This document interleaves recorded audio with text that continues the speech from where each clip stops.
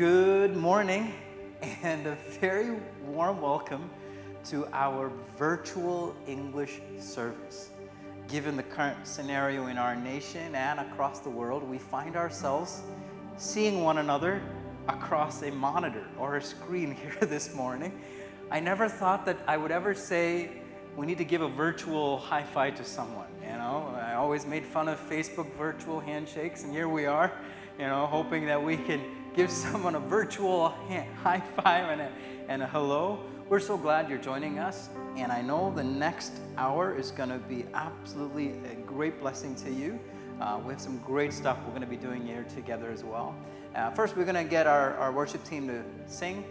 You know, obviously, it's not a performance like we said. We want every one of you who are joining us today to join us in singing, honoring, and lifting up the name of Jesus wherever you are.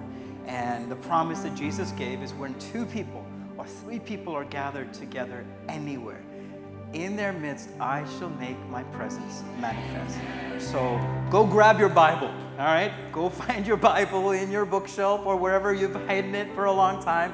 Get a hold of it and grab it and keep it ready because we're going to study the Word of God as well. But before that, we're going to spend some time in worship and uh, honoring God. So join the team as we as we sing.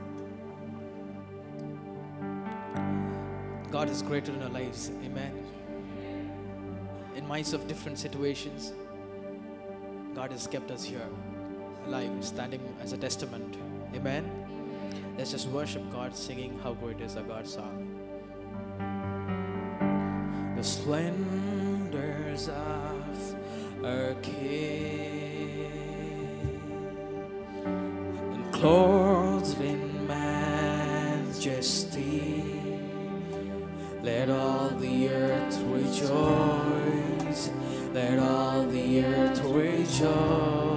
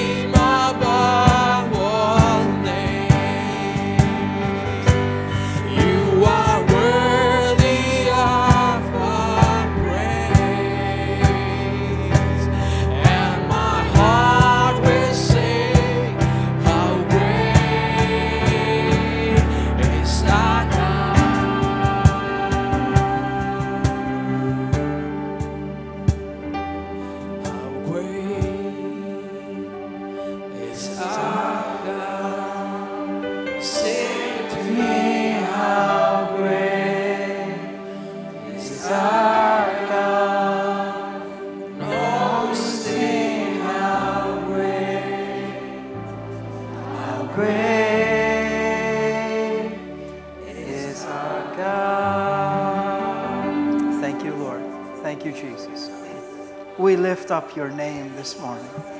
How great are you, O God? You're greater than anything that we can see. You're greater than anything that we can experience. You are truly God Almighty, the one who is above all things. All authority, all power belongs to you, O God. You are great. We lift up the name of Jesus Christ here today. Lord, you are uncontainable. You are all powerful. Lord, even though today we are meeting in different homes and we're gathering in different places, there is no limit to your power. Your power and your presence is absolutely available for every single person who is joining us this very moment. The power of God to touch their lives, the power of God to transform their situations. We thank you that it is available this very moment. Lord, we thank you for mighty things that you're doing in the lives of your people here, Lord God. Lord, as your children, Lord, we take this moment to specially pray for our nation, the nation of India, and the whole world as well, Lord. Lord, we pray especially for the leaders of our nation. Give wisdom to those who are in governance, that they will do the right things to be able to bring this under control.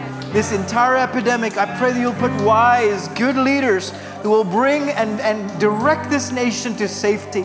But Lord, we know there is someone greater than our leaders, it is you. So we lift up our eyes to our God, where our help comes from, and we ask God, have mercy upon our nation. Have mercy upon the nation of India. And we ask that this epidemic will stop in the name of Jesus. The spread of this virus will stop in the name of Jesus. We pray for the families. We pray for those who are affected, families who've lost their loved ones. We pray this very moment that the comfort and the peace of God will surround them. We pray that even in these darkest moments, the message of the gospel of Jesus Christ will ring loud and clear in our nation. That there is still hope in the name of Jesus, there's still salvation in the name of Jesus. And we pray that the hope of God will be revealed and established in our nation in these dark times, Lord God. As your children, we humble ourselves this morning at your feet and we ask and we intercede and we beg for your mercy upon our people and upon our nation, oh God. Lord, change this situation. I pray, Lord, that we will begin to move away from this situation and experience goodness and health and strength once again. We love you today. We give you glory, honor, and praise. In the very precious name of Jesus, we pray. And everybody said, Amen, amen, amen. amen. Come on, give God a good hand of praise for He is good. Hallelujah. Amen. Go ahead, take your seats. Here this morning, just a quick heads up on you know what's happening ahead of us this week. Obviously, all our church events and uh, extra meetings uh, stand canceled as of now for the rest of this week. Uh, we're keeping a close tab on the directives and guidelines that are being issued by the government uh, for our coming weekend. Uh, we're hoping that there will be a little bit more freedom for us to gather uh, physically. in any case, you can expect uh, a definite online presence uh, of our church, uh, streaming as well for next Sunday. Uh, if you want to participate in giving uh, today, you can. Just look down at the lower third of your screen.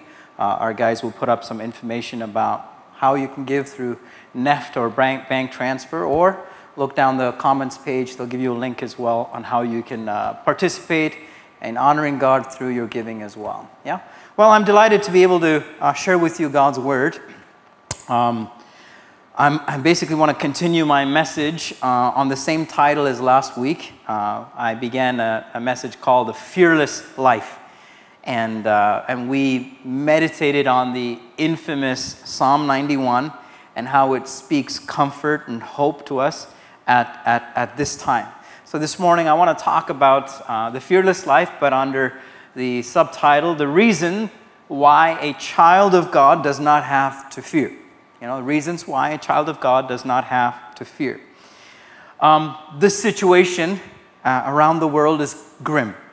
Developed and leading nations of our world are reeling under this epidemic that has brought um, the world to a standstill as we know it, and some unprecedented decisions and steps that are being taken to try to control uh, the spread of this virus. No one knows yet what the impact of this epidemic would be upon the travel industry, the tourism industry, the airline industry, the manufacturing industry, the world economy. There's so many things that it's up in the air as to what's going to happen.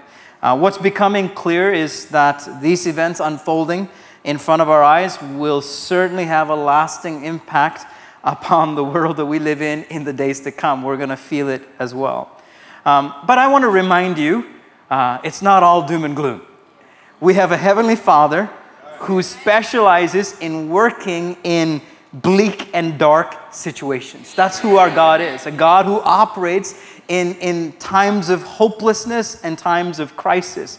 You know, right at the beginning of the Bible, the Word of God mentions in Genesis chapter 1, verse, verse uh, Genesis chapter 1, verse 1, it says, The earth was formless and empty, and the darkness covered the deep waters, and the Spirit of God was hovering over the surface of the waters. Does that sound familiar to what we're seeing today in our world? Chaos, a sense of emptiness, darkness, and uncertainty. And I love God's response to darkness and emptiness. You know what's God's response? And that's what I want to remind you today.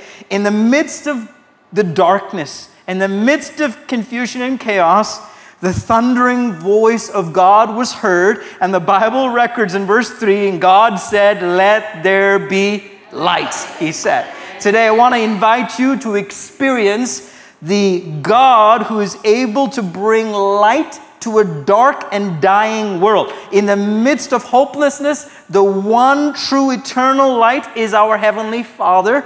And James says he is the Father of light in whom there is no shadow or variation of turning, which means he is always at his brightest. So our God is our hope. Come on, someone. Our God is our refuge. Our God is the one who is worthy to be trusted in him we can find peace in the midst of chaos. In Him, we can find a future in the midst of hopelessness. God said, I am the Alpha and the Omega. I am the one who is, who was, and who is to come. He is the one who does not change. If there's one thing that is stable, that is certain at these uncertain times, it is our rock, our God, who does not change. And I want you to shift your attention from what you're seeing to the God who does not change. Because that's what the enemy wants us to do is to really, you know, confuse us by putting fear in our hearts, by looking around and, and, and looking at things when we're supposed to be looking towards the one who does not change, the one who is eternal, the one who is constant. You know, I love what the psalmist sings in Psalm 27, verse 1 onwards. This is what the psalmist sings. He says, the Lord is my light and my salvation. So why should I be afraid? The Lord is my fortress, protecting me from darkness. So why should I tremble? And then verse 5 he says, For he will conceal me there when trouble comes. Where's there? He will hide me in his sanctuary. He will place me out of reach on a high rock.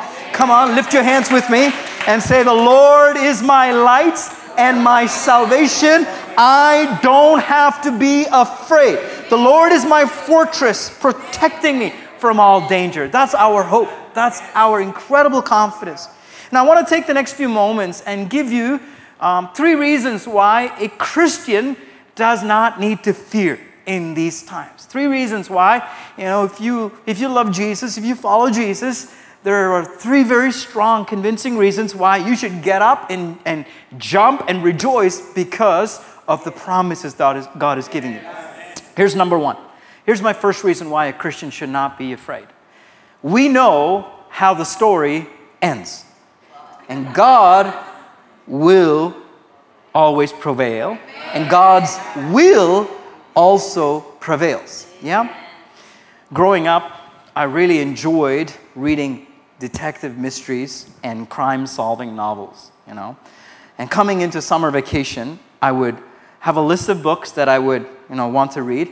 And sometimes I was very ambitious. I would have several volumes of a certain mystery that I wanted to get through uh, during my summer vacation. And as I could see the school reopening day fast approaching and the pile of wonderful books I still wanted to read, I started to employ a new strategy on how I would read them. So basically, what I did was the closer the days were coming, I would pick up a novel and I would read the first chapter.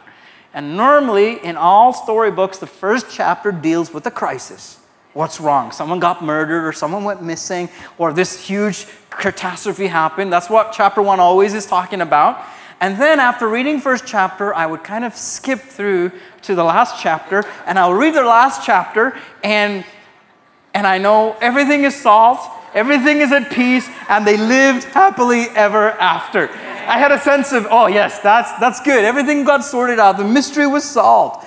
And they call it the spoiler alert. That's what they, they call it, the spoiler alert. Meaning, if you read this, then you will not be surprised at how things turn out. That's what they say. You know, if you're reading through some reviews about certain movies, they say, spoiler alert, don't read the rest of this paragraph because if you read it, you will know how the movie ends. And, and I tell you, for a Christian, the Bible is a spoiler alert.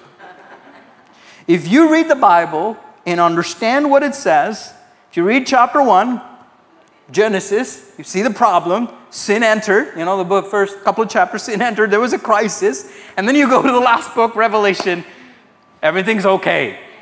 The people of God lived happily ever after for everlasting to everlasting to everlasting. Come on, someone. The Bible already gives us a hope about how things are going to turn out. And this is what it is it's a reminder for you and I that regardless of what we see, what we experience in this world today, it does not matter. You and I know how this is all going to end. And God did not choose to reveal all the subpoints or the plot points, but He did one thing. He revealed that at the end, Jesus wins, our hope is secure, and no matter how dark our days may be, God will prevail in all situations as well. And that's what we tell ourselves, we tell other people do not be afraid. We know how it's going to end. We know how everything is going to be wrapped up because God already told us what to expect as well. You know, all that we see today um, is going to end one day. That's the reality. All that we see today is going to end one day. And I think people are kind of getting a better grasp of, of the uncertainty or the fragility of life today more than any other time or generation, you know, that ever lived. And, and the world that, as we know it is going to come to an end. Regardless of how, if someone saves the ice caps or not, regardless if you're not going to drive a, a petrol driven vehicle or not, I tell you, I have bad news for you the world is still going to end. You know, that's just what it is. That's, that's the hard fact. The world is going to end. Listen to this passage, Romans chapter 8, verse 18 onwards. This is what the Bible says. The Bible says, Yet what we suffer now is nothing compared to the glory he will reveal to us later. And I love this verse. He says, For all creation is waiting eagerly for that future day when God will reveal who his children really are.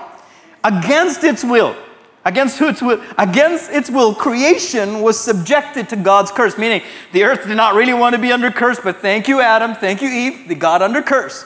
But with eager hope, the creation looks forward to the day when it will join God's children in glorious freedom from death and decay, for we know that all creation has been groaning as in pains of childbirth right up until the present time. And we as believers also groan, even though we have the Holy Spirit with us as a foretaste of the future glory, for we long for our bodies to be released from sin and suffering. We too wait with eager hope for the day when God will give us full rights as His adopted children including the new bodies He promised us. We were given this hope when we were saved. If we already have something, we don't need to hope for it. But if we look forward to something we don't yet have, we must wait patiently and confidently. Say confidently with me. Confidently. So the next time you hear someone groan, don't get upset with them. They're doing something very biblical. So Wives, when your husband groans when he gets up off the couch, it's okay. You know, don't, don't yell at him. He's doing a very biblical thing. The Bible says all creation groans in pain. You know, we're longing for the day when we will be released from sin and suffering. A day is coming where every child of God will get their full rights. That's what the Bible says full rights as a son, as a daughter. We get a new body as we were promised, and it's going to be a glorious day. So, whatever we're going through today is only for a moment and it will soon pass away. Amen. All this heartache, pain, suffering that the devil brought into this world as a result of man's sin is going to end one day. You know, guys, what we're seeing today is a, is a result of the sin that was, you know, allowed into this world, you know, when man sinned. And today, the epidemic you see, this incredible virus that's out of control, is a fruit of that sin.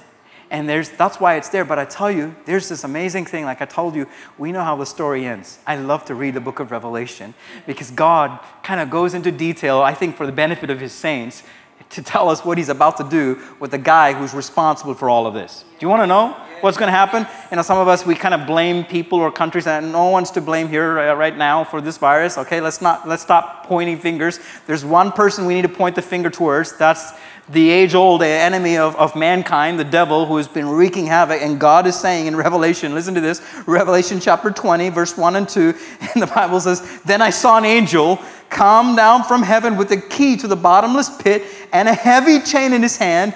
He seized the dragon, that old serpent, who is the devil.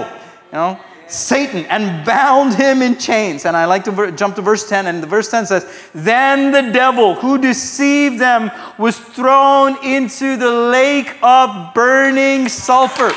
God says, guys, that's what's going to happen. When the time comes to an end, all the curses and all the heartache and the pain, the one who is responsible for it is going to receive what's going to come to him. And, this is my favorite part of the book of Revelation. You know, Revelation 21, verse 3 and 4. And it says, God's home is now among his people. He will live with them and they will be his people. God himself will be with them. Amen. And verse 4 He will wipe away every tear from their eyes. There will be no more death, or sorrow, or crying, or pain. All these things are gone forever. I don't know about you, but I get excited when I read Revelation because I know what is to look forward to. I know what it is to look forward to for the future. So take courage today. Regardless of what you're seeing and what you hear being told to you over the media and over the news, in a few moments, it'll all soon pass away. But those who put their trust in Jesus will have a very secure future to look forward to. We don't have to fear. That's what the Bible says. If God is for us, then no one, nothing can stand against us. And that's the hope that we have. You know, for, for a Christ follower, we do not give in to fear, we give in to hope and faith in our God as well. Here's the second thing I want to give you the second reason why a Christian should not fear. Because our refuge and protection are found in God. Our refuge and protection are found in God. Most of us who are hearing me today already know these truths. But, you know, it's important to be reminded these amazing promises during times of crisis. Worry is not our friend, panic is not our way. The Bible reminds us in Proverbs 24, verse 10, says, If you faint in the day of adversity, your strength is very small. May it never be said that God's people are governed more by fear than by faith. Yeah?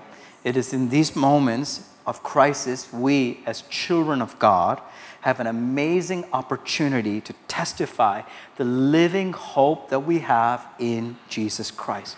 When everyone else is ruled by fear of the unknown, a child of God needs to stand strong and shine bright as a beacon of hope to those who are lost and say, This is the way, come back to God. Corrie Ten Boom, um, who was a uh, a woman of great courage and strength who endured years of oppression and torture in the hands of the Nazi regime um, during World War uh, II. She said this She said, Worry doesn't empty tomorrow of its sorrows, it empties today of its strength. Yeah? That's what she said. Worry doesn't empty tomorrow of its sorrows, it empties today of its strength. So, in times of crisis, the world needs steady people. Come on, say steady people who are strengthened by God's grace and are selfless in doing things for God as well. Worry accomplish, accomplishes nothing except giving birth to fear and to inaction. But faith produces action faith produces forward movement as well.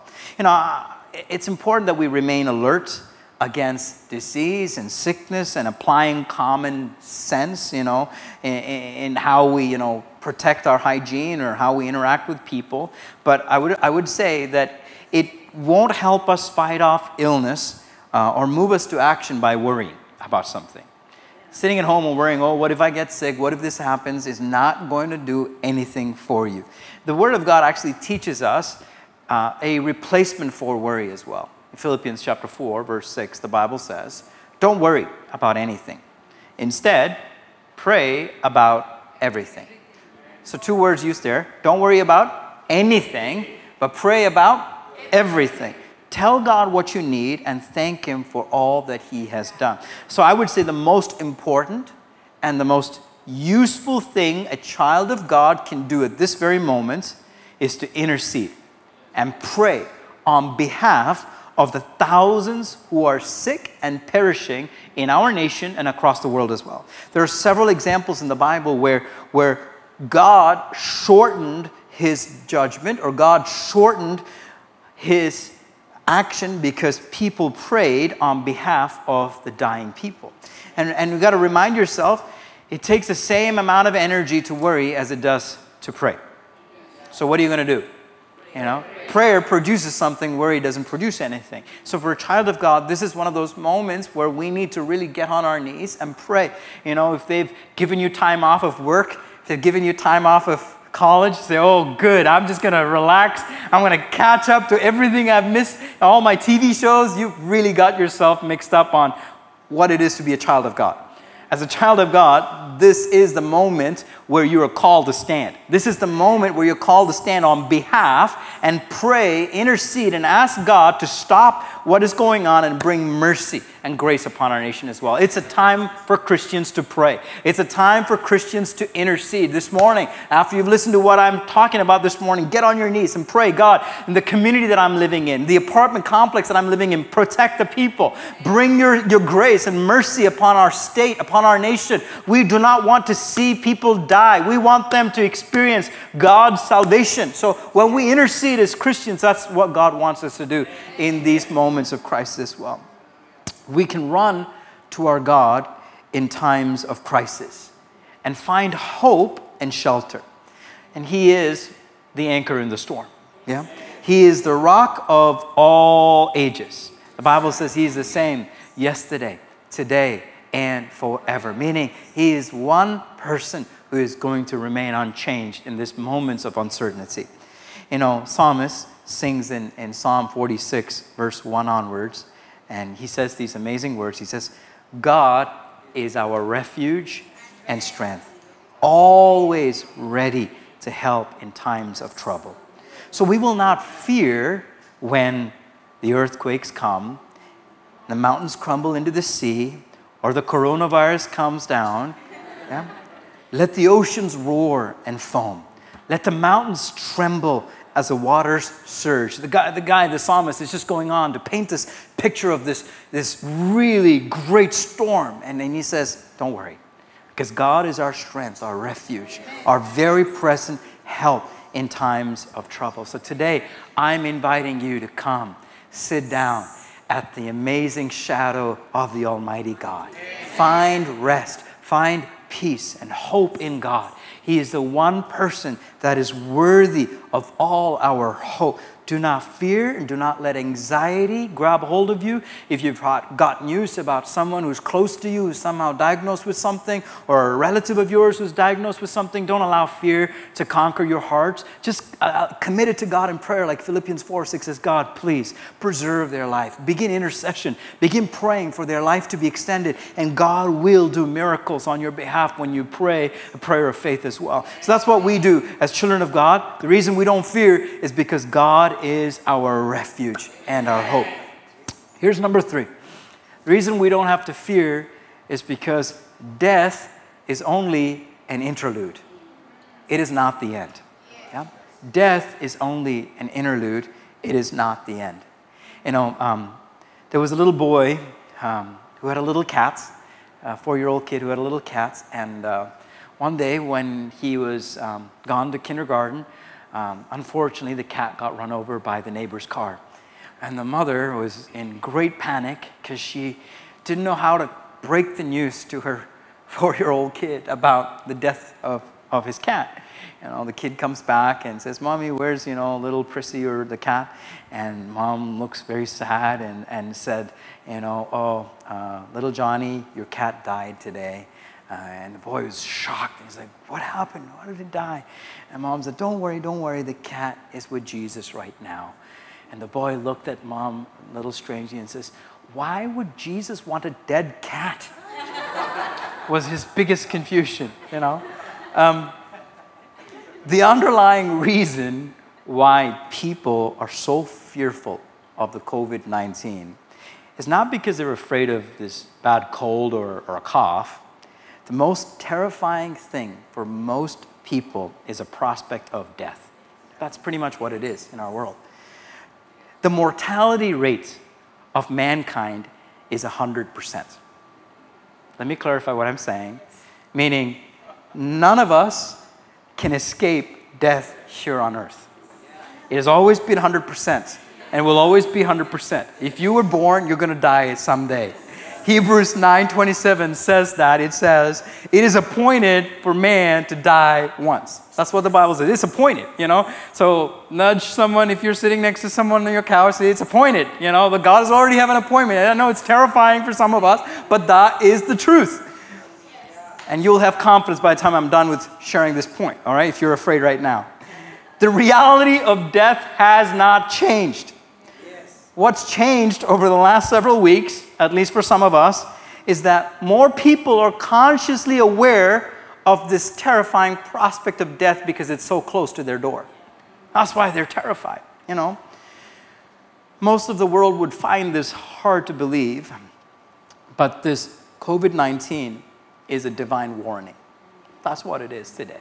It is a divine warning of God. But the Lord of heaven who governs every germ and every molecule in the universe, says to anyone who has ears to hear, I love you. I want you to come to me. That's what God is saying to you this morning. I know sometimes people like to point their fingers at God and say, He's responsible. Why did God allow this? But I tell you, God, who is rich in mercy, allows certain things to get people to come back to Him to experience this incredible salvation. You know, Jesus said this in Matthew chapter 10, verse, verse 28. He said this He says, Do not fear those who kill the body, but cannot kill the soul. Rather, fear Him who can destroy both soul and body in hell. You know, Jesus was saying, guys, I, you know, don't, don't be afraid of, of, of, of those who kill the body. There's something greater than death you got to be afraid of. Someone who could, you know, keep you in eternal death. That's what you got to be afraid of. But he didn't stop with that warning. In the next few verses, he also gives a promise. You know, in the next few verses, God, Jesus says, 29 onwards, he says, Are not two sparrows sold for a penny? And not one of them will fall to the ground apart from your Father. But even the hairs of your head are all numbered. For some of you, it's easy for God to keep account, for some of you, it's not. Um, fear not, therefore. Come on, fear not, therefore. You are, more, you, you are of more value than many sparrows. And I tell you, you know, God values your life. And don't think for a moment that God has abandoned you or forsaken you or forsaken his people. God loves his children. While the World Health Organization races to find cures for the COVID 19, your Father in heaven is attending to every hair on your head. He rules over a worldwide pandemic and still cares for you. And if you and I die, you know, it's not because God stopped loving us. That's not the reason, you know. God loves us regardless of what happens in this world. For every Christian, this time of crisis that the world is facing today is an opportunity for us to shine bright the hope that is found in Christ Jesus. That's what it is, church. This is the moment that you can shine bright when everyone is gripped by fear when you are gripped by faith and confidence, you will stand out everywhere you go. Because there's something about someone who walks in courage and confidence in these moments. And all of us who are living here on this earth came into this earth through natural birth. We all have a day and a time where we physically entered this world. You know, that's what we call the birth day. But Jesus, when he was here on earth, he talked about a second birth called born again. And like many of us um, who cannot wrap our, our minds around what it means to have a second birth, there was a Jewish leader who had the same question like you and I did, because then he kind of approached Jesus in the middle of the night and said, Jesus, I just can't understand what you're saying about this second birth. Would you please explain to me what you're talking about, this concept of being born again? Then Jesus sits him down patiently, and I want you to pay attention to this conversation that he had with this guy uh, called Nicodemus in John chapter 3, verse 4 onwards. This is the question that Nicodemus had. He said, How can someone be born when they are old? Nicodemus asked. How can they be born? So then he's trying to rationalize this whole concept of born, born again. He says, Surely they cannot enter a second time into their mother's womb to be born. Jesus answered, said, Very truly, I tell you, no one can enter the kingdom of God unless they're born of water and spirit. Flesh gives birth to flesh, but the spirit gives birth to spirit. Some of you reading this like it's still cryptic. I can't understand it. Let me break it down here. So Jesus explained to Nicodemus, and he's saying, the second birth is a spiritual birth. That's what he's saying. That a person can experience through their faith and their outward commitment of water baptism.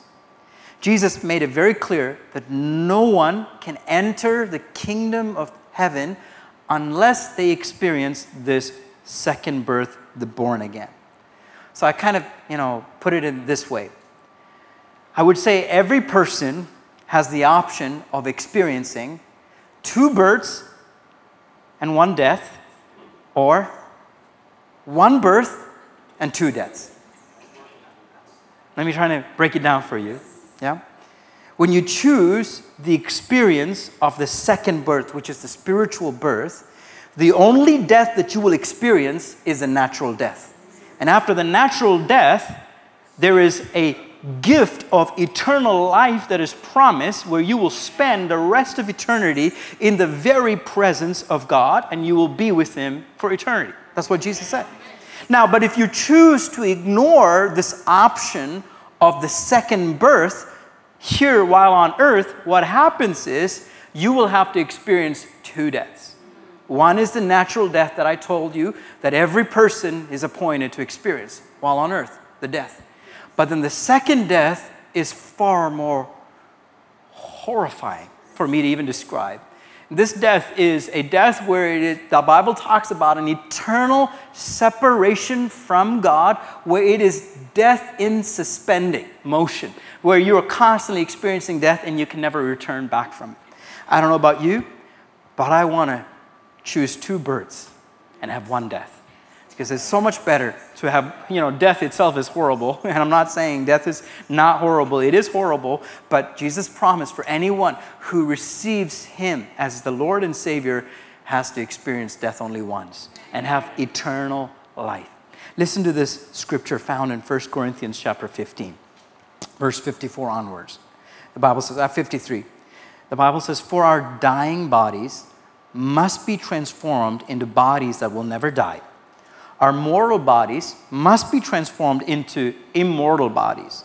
Then, when our dying bodies have been transformed into bodies that will never die, this scripture will be fulfilled. Death is swallowed up in victory. Oh, death, where is your victory? Oh, death, where is your sting? For sin is the sting that results in death, and the law gives sin its power, but thank God, He gives us victory over sin and death through our Lord Jesus Christ. That's what the Bible says. Through Jesus Christ, there is a victory that is given over death. And, and the writer says, then we say, Where, O death, is your sting? Where, oh grave, is your victory? In other words, Jesus took the sting of death. It no longer is a curse for us anymore because death is just an interlude, it's a pause. It's like an interval for us, and we're going to take a break and we're going to come back. But when we come back, the Bible says, in a brand new body, in a brand new world, and the amazing things that God has in store for His children are beyond our imagination and comprehension. Jesus took the sting of death.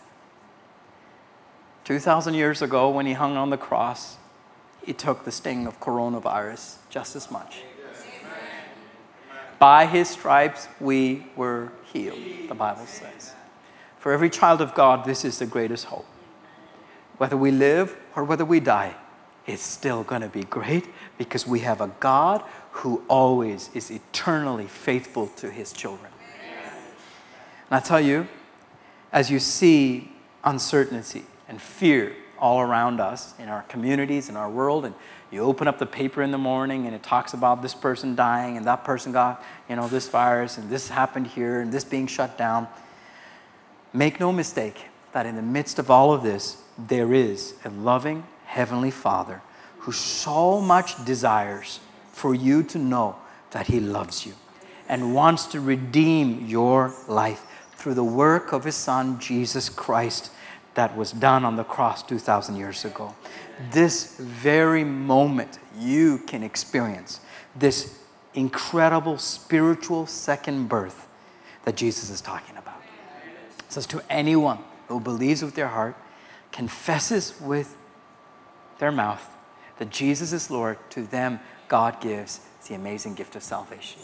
Today, seated on your couch, seated wherever you are, you can experience this amazing gift of salvation and new birth in your life where God can absolutely cleanse you of your past and give you a brand new beginning. And anyone who receives this gift of salvation that Christ gives freely can begin the fearless life where we're not ruled by fear, we're not ruled by what happens in our circumstances. We're ruled by the Spirit of God that is in us, who testifies of the great promise that we have in and through Jesus Christ. This morning, I want to encourage you I want to I want to tell you it's going to be okay.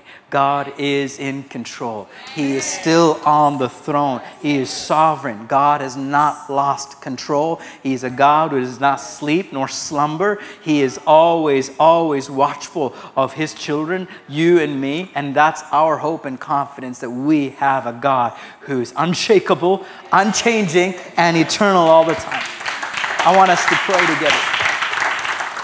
And we're going to pray that today that God will fill our hearts with hope. And I, like I said, two things that Christ Christian can do at this time. Prayer, number one, you know, to pray and intercede for God to intervene in this situation. And number two, to share your confidence and hope in Jesus Christ. By acts of mercy, don't let fear dictate your action. Don't let fear, you know, cripple you from doing things you would normally do. God is with you and no one can ever touch your life without God's permission. Did you know that? That's something we, we have a promise from God. God has already knows how long and how many hours and how many minutes you have, and no one can change that. No virus, no, no COVID 19 can shorten the time that God has for you. If God has a time, that's going to stay, and you can do what you need to do, which is share the hope of Jesus Christ to people and show mercy and comfort and tell people that God is with them and it's going to be okay. Help people and, and share the hope that they have in Christ Jesus as well. Pray with me here today. We're going to get you know the worship team to come up in a, just a moment. I'm going to sing one more song as we wrap up, but we're going to pray a quick word of prayer, and we're going to ask God to touch us this morning. Heavenly Father, we thank you that there is incredible hope in you today.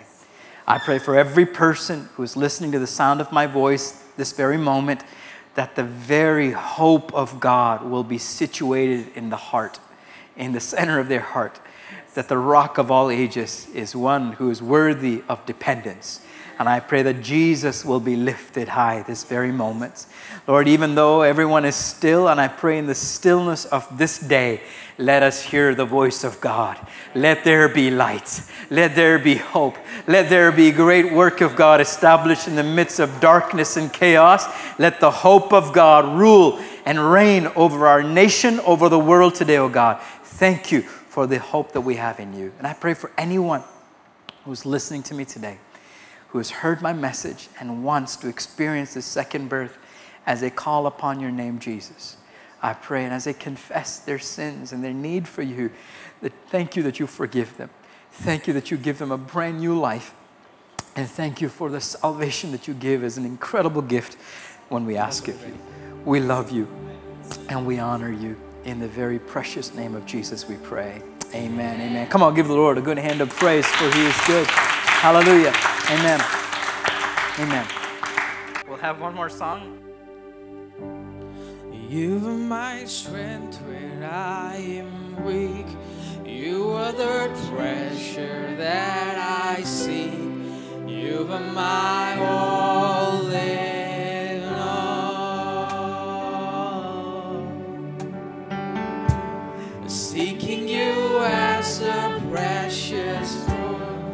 Lord, to give up my beer full. You are my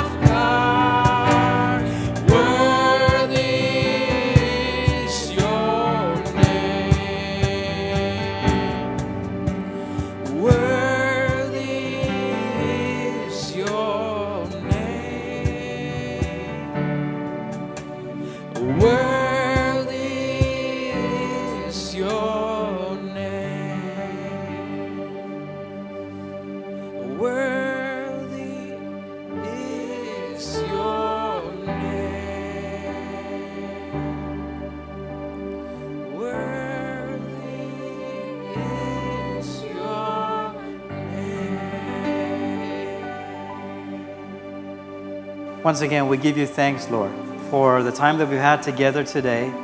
We lift up your name, we honor it, and we give you praise and thanks for hearing our prayer today, for doing mighty things in our nation, and Lord, for bringing a, a- an end to this chaos that we see.